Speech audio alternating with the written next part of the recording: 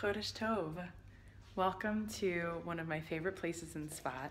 This is called Livnot, U'Lehibanot. You can see a little poster here that someone made by hand.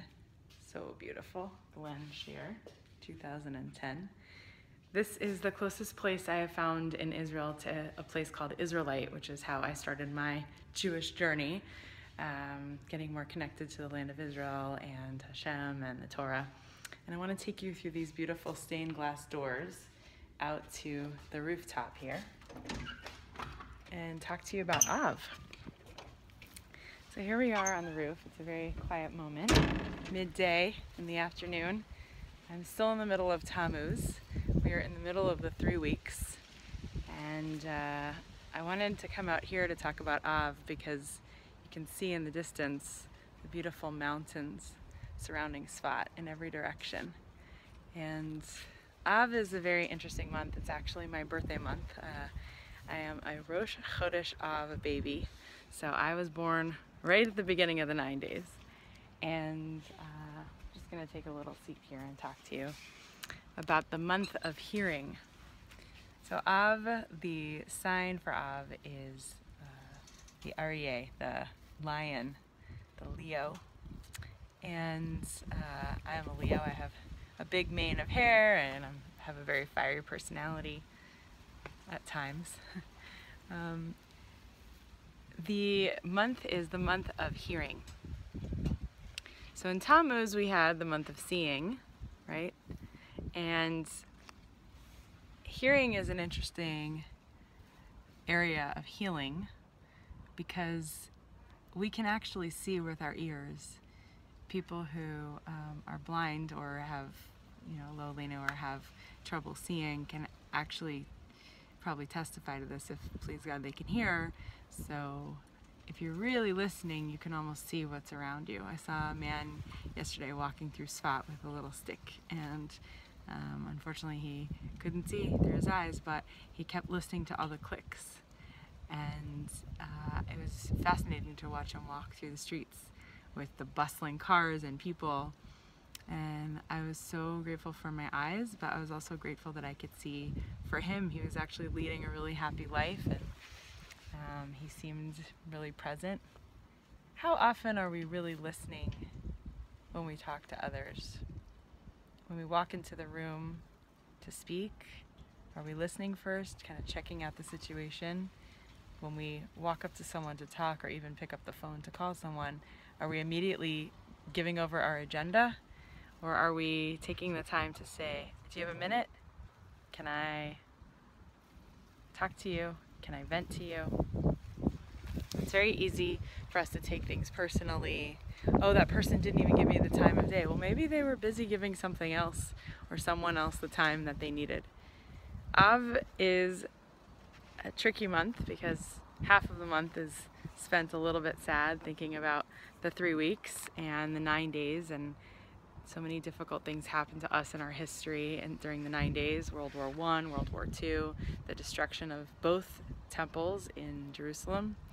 And so it's a sad time for us and we mourn all of that loss of life and of potential.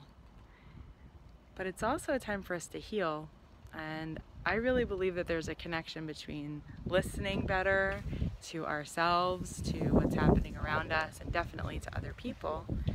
Because if we're really truly listening to ourselves and to others around us, in those moments we can really have peace. And I don't just mean peace. Peace is not just like when things are quiet and you can really like just hear nothingness. Peace is actually when two people can share and also see the godliness that's inside of both entities. There's a letter Sheen, right?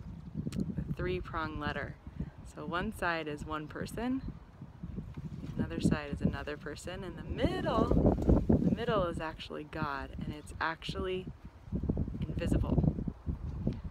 If I'm talking to this person, but I know God is always between us, I can't help but see the godliness in that person at all times.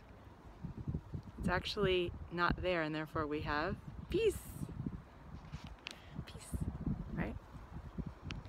And peace, again, is not being quiet all the time, but it's being shalem, shlemut, being one with what is. I was meditating the other day on one of these mountaintops here in Sfat, and I was sitting with a friend, and we went deep into meditation of listening. And I said, the word that came up for me was synchronicity. I was having a hard time synchronizing everything. I think I was a little jet lagged and I was tired and I was missing some of my comforts from home. But I also was really experiencing this powerful feeling of being in Israel for the first time in six years and it really was shaking up my soul and what was happening inside. And I shared that I'm having a hard time making sense of it all and, and, and understanding how you know different places can bring out different sides of us. And I said, I'm really searching right now. I'm almost fighting for synchronicity. And I, I realized that fighting for to feel something is not really a good space to be. We have to sometimes breathe in and out and just let things be as they are. And that's when the synchronicity came.